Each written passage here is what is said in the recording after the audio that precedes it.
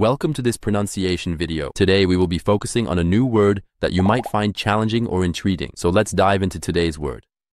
Personne, which means Person in French means nobody or no one in negative contexts.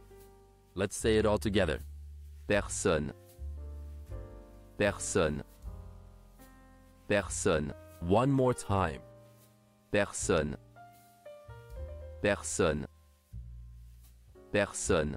Thank you for joining us on this adventure in pronunciation. Remember, language is a journey, not a destination. Keep exploring, experimenting, and expanding your linguistic horizons. We'll see you next time.